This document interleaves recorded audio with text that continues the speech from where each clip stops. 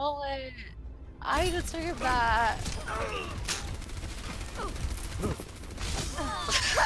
Double And then I had a die.